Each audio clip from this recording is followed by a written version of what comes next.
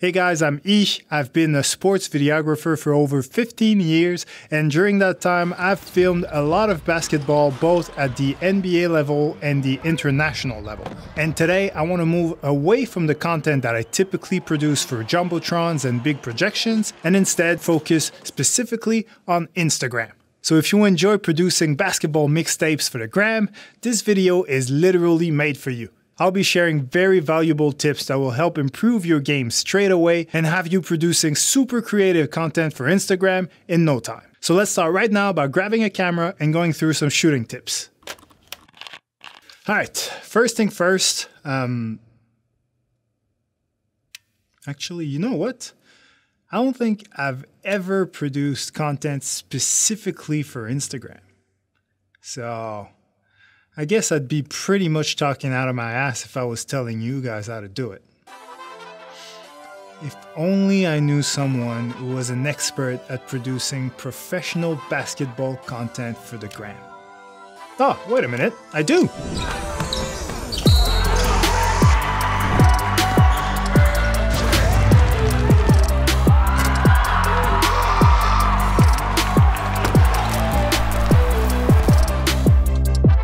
Thank you so much for having me on the channel, E. Hi everyone, my name is Peter Sarellas. I'm a videographer and editor from Toronto, Canada. I specialize in sports work, specifically creating basketball videos, which I do full-time for the Canadian Elite Basketball League as a videographer and editor. On YouTube, my channel is just my name, Peter Sarellas, so you can go subscribe there if you want to see more videos like this where I give you tips to the camera and go through some editing tutorials. And if you want to see some of my professional work as a basketball videographer, you can follow me on Instagram. That is at P. and today I'm going to be using my expertise from the sport media field to go over some of the techniques that I use when I'm filming basketball and things that you should keep in mind if you're out in the field filming a basketball game or a practice specifically for posting on Instagram.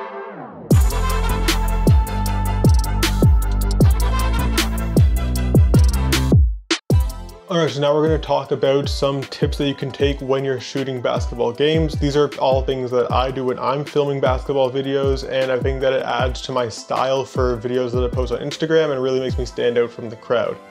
So the first thing that I like to do when I'm filming basketball videos is I always shoot wide. Like I shoot wider than I would think I have to shoot.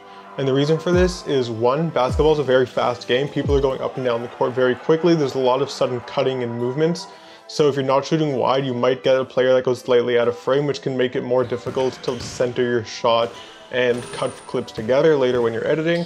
And two, sometimes I like doing the stabilization effect and you usually need extra room around the edges when you're doing this effect. So by shooting wider, you're gonna have that room around the edges to play with effects like stabilization. And if you shoot too tight, you're just not gonna be able to execute that type of thing. So always shoot wide, or at least a little wider than you think you have to.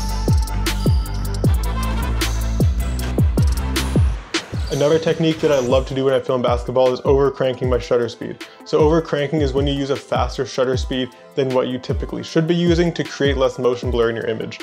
And I like doing this because I find that sometimes when I'm filming basketball videos, it's a little bit too blurry if I use the shutter speed that I'm supposed to be using because the players are just moving around so quickly. So by over cranking, I get a clearer image where the players have sharper edges around them. It's not as blurry. You can really make out what's happening. I'll overcrank when I'm shooting 120 frames per second from 1 over 250 all the way up to like 1 over 400 just so you can really make out the movement of all the players. And if I was ever shooting in 4k 24 which I don't usually shoot I usually shoot my basketball videos in slow motion but say I was going to shoot 24 frames per second I would probably overcrank from 1 over 50 all the way up to like 1 over 250 because I'm not really concerned with how realistic the motion blur looks. I just want to make sure that the player in the video is as clear as possible for if I want to stabilize, do effects, and I just think it's a cooler look. But you can do this technique for yourself and then decide whether you want to continue to over crank or not.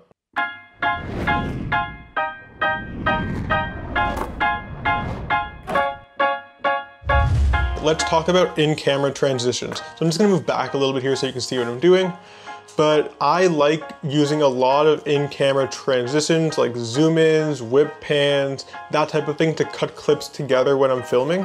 And essentially what I'm trying to do is create motion blur in my image at impactful moments so that I can hide a cut in the motion blur and transition from one clip to the next.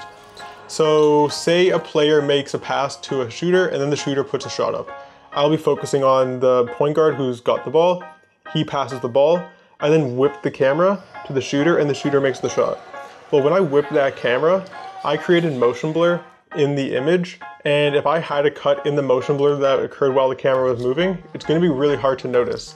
So knowing that I have a clip where I have motion blur going from the right side to the left side, I can film another clip in the game, maybe of somebody dribbling the ball, where I'm filming them for a few seconds, and then I whip the camera from the right to the left.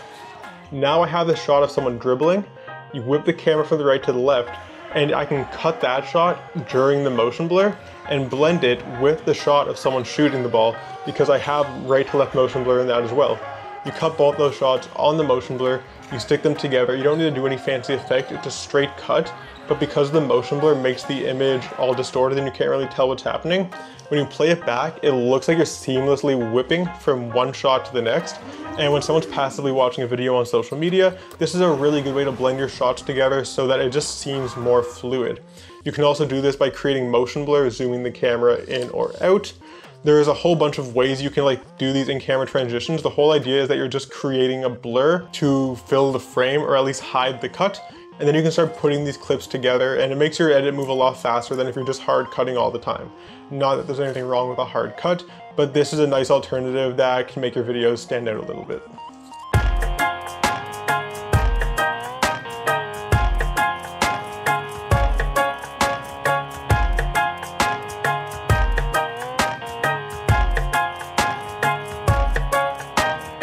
Finally, if you're shooting for Instagram, you're probably wondering, should I shoot vertically for Instagram? Say I'm gonna make a reel, or should I shoot horizontally?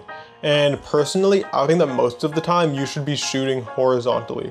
And the reason for this is that players, when they're playing basketball, are moving very quickly from side to side, but they're not moving very quickly up and down.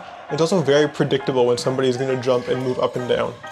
So if you're filming vertically and someone moves side to side really quick, you don't have a lot of room on the edges of your image to kind of keep them into the frame. And if someone makes a sudden move that you're not expecting, they can fully exit your frame and then you've just lost that data. If you film horizontally, you have more room on the sides to compensate for somebody making a quick move from one side to the other so that you can keep them in the frame and then reframe it later in post and at least you still have the data of that person in the shot. The one time I think you should film vertically is if you're filming in a controlled environment like a workout where you're telling the players what to do, or they're doing a drill that's super repetitive, like they're doing the same action over and over and over in a practice. At that point, it becomes very predictable to figure out what the player is gonna do so you can afford to film vertically and still keep them in the frame. If you're filming a live action game and people are moving around all over the place, I personally wouldn't because I feel like I would just miss too many shots and it's too risky. So I recommend film horizontally, you'll miss less moment, you'll get better footage, but there's moments where you can film vertically and it really just depends on your comfort level and experience with shooting basketball videos.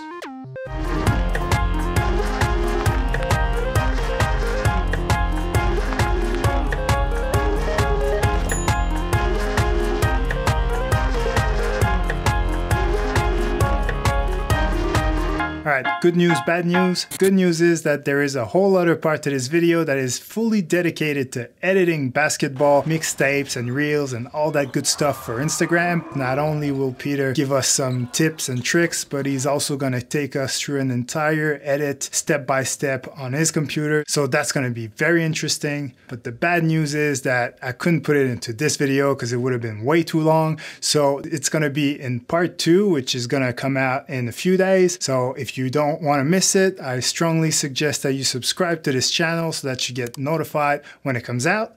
Otherwise, if you really can't wait to get your basketball editing fixed, you can always go to Peter's channel in the meantime because he's got plenty of tutorials on the topic.